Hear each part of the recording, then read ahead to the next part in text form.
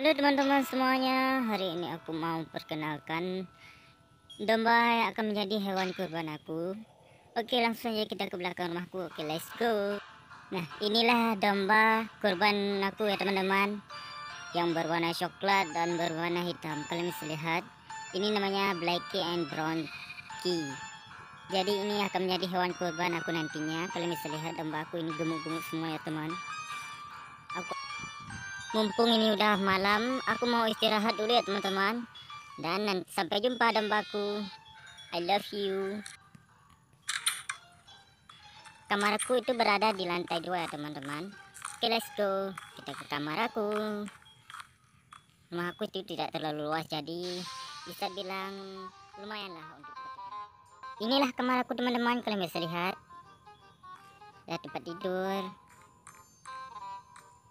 Aku tidur dulu ya teman-teman. Bye. Nih guys, sekarang udah pagi dan aku akan mengecek domba-domba aku bagaimana mereka, apakah mereka kelaparan atau kehausan. Oke, let's go. Kita turun ke bawah. Let's go.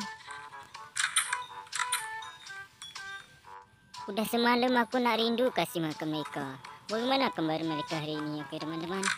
Loh, mana domba aku ini? Siapa yang udah melepaskannya? Loh, kok nggak ada? Ini tidak mungkin ini. Aku tanya mama. Siapa tahu mama tahu. Ma, ada tengok domba aku tak? Ya udahlah. Aku tanya sama Pak aja. Pak, ada tengok domba aku tak? Tak juga. Ya udah. Uncle, ada tengok domba aku tak? Warnanya hitam sama coklat. Ada? Di mana? Kok mengganggu-ganggu aja tapi tak ada jawaban ni Uncle. Okey Uncle, terima kasih. Aku pergi dulu. Bye. Domba? Di mana kau orang?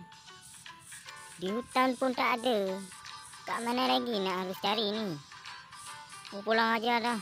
Dah mau keburu malam ni. Balik dululah. Udah seharian penuh nak cari domba. Tak dapat-dapat.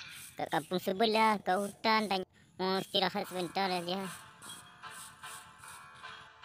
Mau istirahat dululah teman-teman. Udah penat nak cari domba tu. Di mana mereka ya? Loh. Kok ada di dekat bilik aku ni? si Blacky sama si Bronty udah aku capek cari kemana-mana ternyata ada di kamar. Ini pasti ulah adik aku ni mau masukin mereka ke sini. Apalah mereka ni? Dah tak cari kemana-mana seketika udah hilang udah makan serigala. Ternyata masih ada dalam bilik. Okeylah teman-teman. Dah capek ni.